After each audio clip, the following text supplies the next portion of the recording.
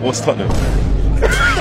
Here are five more famous celebrities who are Arsenal fans. Lewis Hamilton, Who do you support in the Premier League? Arsenal. Arsenal fan? You happy with the results so far? Of course, I'm so happy. Like, I've been waiting for this my whole life. he's been a fan of Arsenal since childhood. Yeah, I started supporting uh, Arsenal when I was five. He also participated in an exhibition five-a-side match with legendary Arsenal players. Robert Pattinson, first Doctor Strange, now Batman, also supports Arsenal. The internationally acclaimed actor has frequently expressed his devotion to Arsenal in interviews over the years. Daniel Kaluuya, known for his remarkable performances on screen, proudly identifies himself as a die-hard Arsenal fan. Best thing about being an Arsenal fan is that we're the best. Love it. And the worst thing, we're because I can't even like Arsenal fans.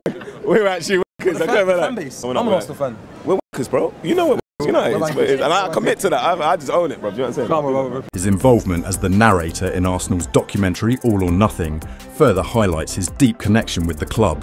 Andrew Garfield. Wait, Doctor Strange, Batman, and now Spider Man all support Arsenal? Nah, mate, Arsenal have the streets. The second Spider Man was once spotted wearing a grey sweatshirt with the initials AFC printed on them back in 2014. Does this mean he's an Arsenal fan? Yes, of course.